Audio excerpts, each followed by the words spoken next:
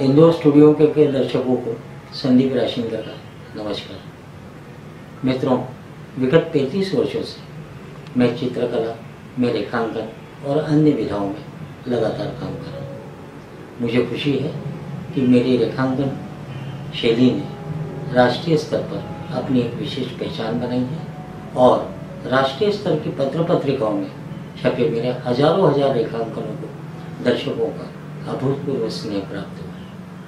मेरी कला प्रदर्शनियों में भी, चाहे वो मुंबई में लगी हुई मेरी प्रदर्शनी एक्सप्रेशन ऑपरेशन ब्रास वेंचर हो, या गोवा में लगी हुई मेरी प्रदर्शनी ब्लैक आउट या सिंहस पर लगी हुई मेरी प्रदर्शनी एरेडियन सिंहस हर जगह दर्शकों ने मेरी कलाकृतियों के अभिनवता को काफ़ी पसंद किया है। आज मैं जिस खुशी को आपके साथ साझा करने के लिए यहाँ उपस्थित हूँ वह यह है कि राष्ट्रीय सीमाओं से परे इन दिनों मेरी कलाकृतियों का प्रदर्शन लंदन में चल रहा है। और लंदन वह हॉटस्पॉट है जहाँ हर कलाकार अपनी कलाओं को प्रदर्शित करना चाहता है। मुझे खुशी है कि लंदन की ग्रीन बीच कला वेदिका ने मेरी कलाकृतियों में न सिर्फ़ रुचि दिखाई, वरन मेरी पंद्रह कलाकृतियों को वहाँ पे चयनित कर प्रदर्शित किया है। और ये कलाकृतियाँ 30 सितंबर वहाँ प्रदर्शित होती रहेंगी।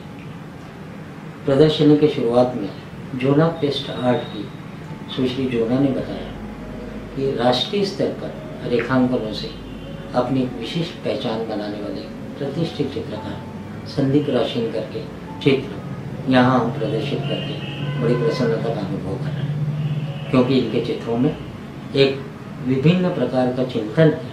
जो एक अपनी दार्शनिकता के साथ उपस्थित होता है। इनके चित्रों में प्रकृति है, पर्यावरण है और पंचतत्व है। ये सारे घटक इनके चित्रों में एक अलहदा संकेतों के साथ और एक आकर्षक संयोजन के साथ उपस्थित होते हैं। इनके चित्रों का कंसेप्ट हो या इनके चित्रों का कलर कॉम्बिनेशन हो टेक्सचर हो या ट्रीटमेंट हो, हर स्तर पर ये अलहदा अनुभूति का एहसास देते हैं।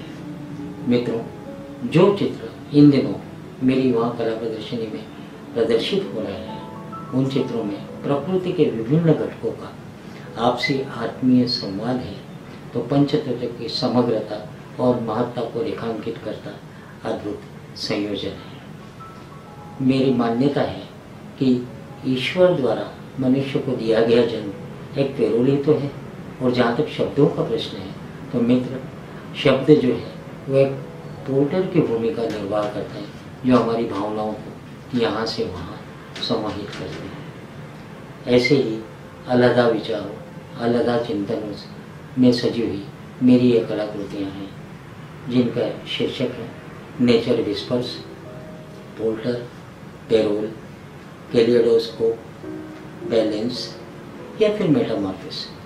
तो इन सारी चित्रों की प्रदर्शनियाँ वहाँ दर्शकों को काफ़ी लुभा रही है। इस चीज़ की मुझे प्रसन्नता है। मित्रों, जो लोग मेरे काम को जानते हैं, वो ये समझते हैं कि मेरी रचनात्मक सक्रियता कुछ अलग किस्म की है।